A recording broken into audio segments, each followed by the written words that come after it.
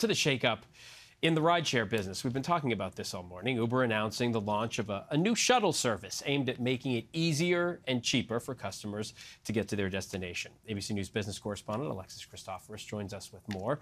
Uh, so, Alexis, how is this going to work and how do these shuttles operate? Two things we love easier and cheaper. Sign me up, right? okay, so how is this going to work? Uber is coming out with a uh, shuttle this summer in select cities. You're going to be able to go to the airport, concerts, sporting events. Using the shuttle, you can reserve up to five seats up to a week in advance. And Uber says it will be less than the price of an Uber ride. It's going to be partnering with uh, some local shuttle bus companies and commercially licensed drivers. That's who will be driving. You're still going to be able to go on your app and give a tip to the driver and also rate the driver on this uh. in this situation. The cities it's going to be launching in this summer, four cities, Chicago, Pittsburgh, Charlotte, and Miami. And depending on how it goes, it'll roll out nationally. All right. Fascinating.